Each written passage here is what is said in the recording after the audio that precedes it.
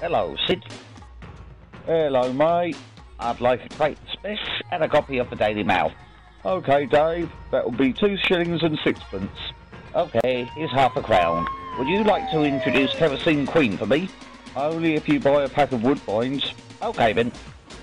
So, here's Kerosene Queen with Out of Control. That'll be a penny farthing, please, mate. OK, then. I thought you'd be giving me an old-fashioned bicycle. That's is precisely what they expected me to do.